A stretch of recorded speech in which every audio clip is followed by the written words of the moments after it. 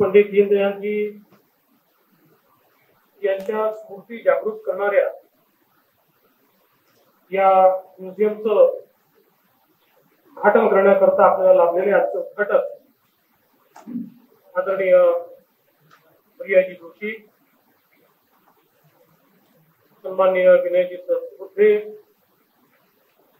भाई गिरकरजी अर्जुन रेखेजी रेखाताई महाजन रवींद्र साठेजी श्रीकांत बडवेजी प्रतीक पांडेजी उमेश मोरेजी देवेंद्र पै या ठिकाणी उपस्थित सर्व मान्यवर अतिथी आणि उपस्थित भगिनी आणि बंधू.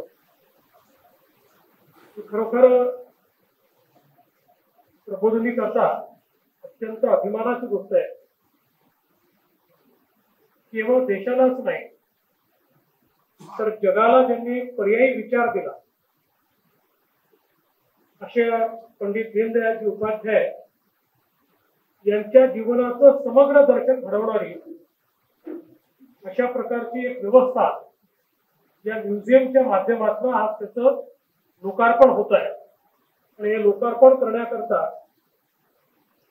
त्याच मार्गानं मार्गक्रमण करणारे आणि आपलं जीवन देशाला ज्यांनी वाहून दिलं असे भैयाजी करताय ते खरोखर आपल्या सगळ्यांकरता अतिशय आनंदाची गोष्ट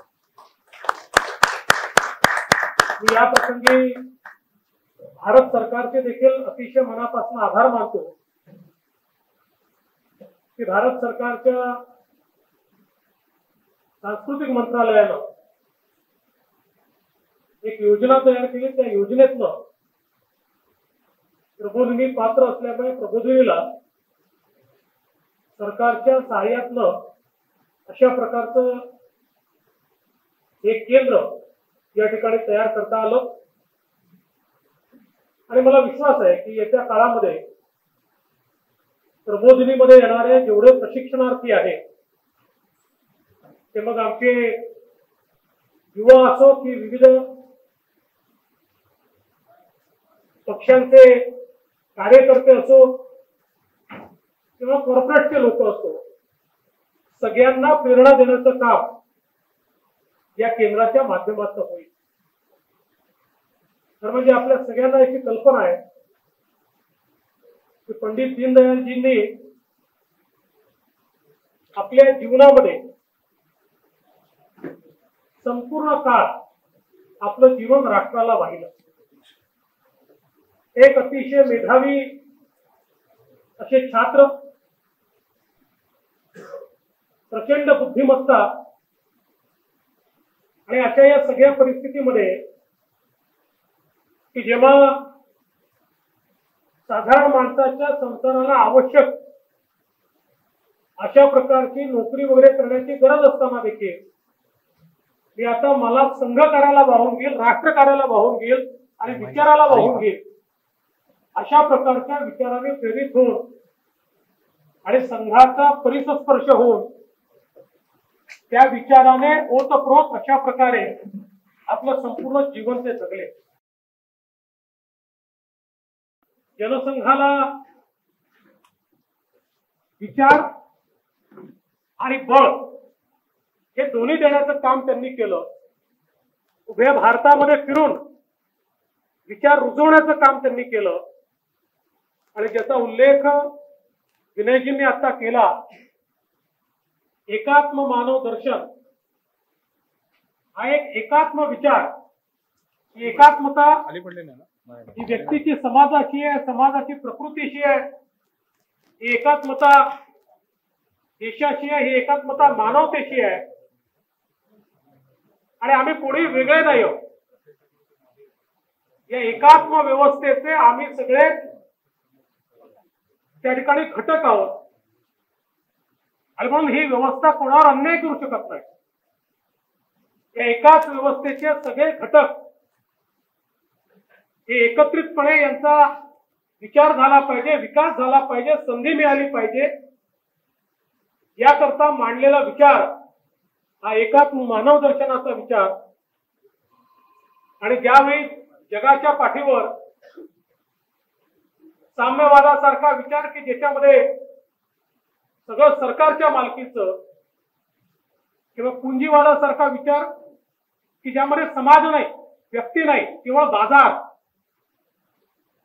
अशा प्रकारच्या दोन विचारांच्या भाऊगर्दीमध्ये मानवी संवेदना असलेला एक आर्थिक विचार एक आर्थिक चिंतन ज्याच्यामध्ये व्यक्तीचा विचार केलाय तसाच प्रकृतीचा विचार केलाय. आणि विशेषतः अलीकडच्या भाषेमध्ये ज्याला इंडियन इथोज म्हणतात. त्याच्यावर आधारित जो एक शाश्वत विचार आहे त्या विचारावर आधारित म्हणजे आपण पश्चिमी विचारामध्ये सर्व्हायवल ऑफ द फिटेस्ट म्हणतो. पण आमच्या विचारामध्ये आम्ही नेहमीच सांगितलंय की जो जन्माला आला तो जगेल आणि समाज त्याला जगवेल. ही व्यवस्था समाजावर आहे. त्यांनी ती उभी करायची आहे.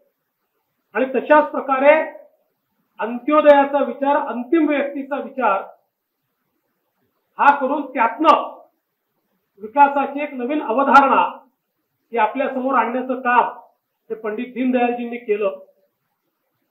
आणि हे सगळं करत असताना त्यांच्या जीवनातला साधेपणा हा लक्षणीय होता. आणि मला असं वाटतं की त्यामुळेच अतिशय साधारण दिसणारा हा व्यक्ती पण अतिशय असाधारण अशा प्रकारचं कार्य आपल्या जीवनामध्ये ते करू शकले. अशा पंडितजींचं संपूर्ण जीवन या संग्रहालयाच्या माध्यमातून आपल्यापर्यंत पोचणार आहे. आणि मला असं वाटतं की ही अतिशय एक मुलाची ठेव आपल्याला या ठिकाणी रामभाऊ मागी प्रबोधिनीला प्राप्त झाली. म्हणून मी खरोखर भारत सरकारचे आभार मानतो आणि त्याचसोबत ज्या ज्या लोकांचा आपण या ठिकाणी सत्कार केला ज्यांनी खऱ्या अर्थानं याला आकार दिला त्या सर्वांचं मनापासून मी अभिनंदन करतो त्यांचे आभार मानतो. आणि या कार्यक्रमाकरता माननीय भैयाजींनी वेळ दिला त्याबद्दल त्यांचे देखील आभार मानून मी माझे दोन शब्द संपवतो. जय हिंद जय महाराष्ट्र।